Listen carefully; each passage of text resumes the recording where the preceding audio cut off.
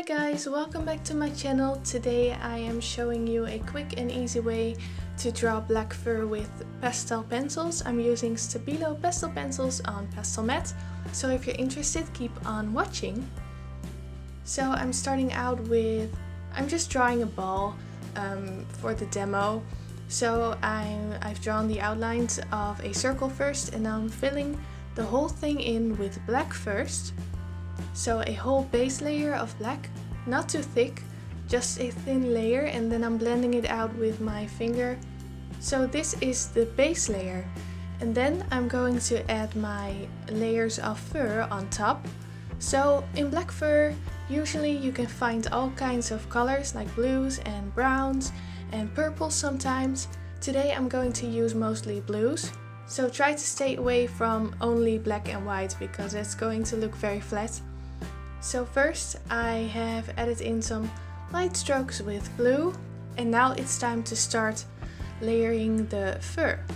So what I do is I take a um, light gray, a cold gray, and now I'm going to draw strokes in the direction of the fur growth. So the fur is growing from top to bottom and of course it's a ball so it's going to be a 3D ball so I'm following the structure of the form and this is very important when drawing animals.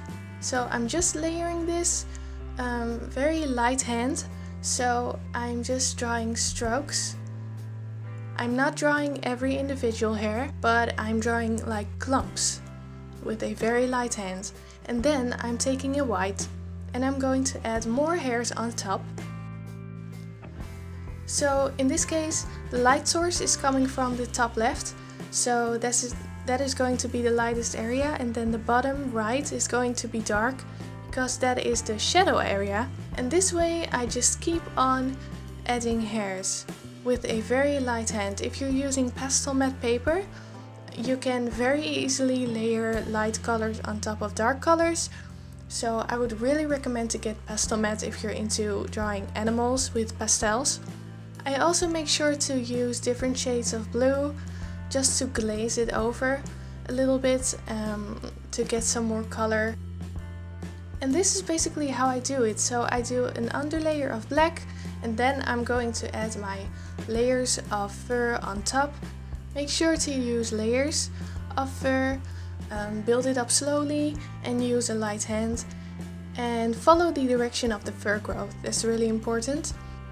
And of course you can make it as colorful or as complicated as you want.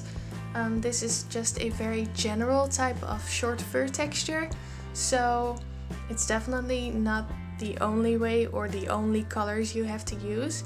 Make sure to use a reference photo when you're when you're drawing a black animal so you can create that type of fur. So this is a very easy way to get a realistic fur texture very quickly. I hope you enjoyed this very quick tutorial. Um, let me know if you have any questions below. Don't forget to subscribe to my channel and then I'll see you in the next video. Bye bye!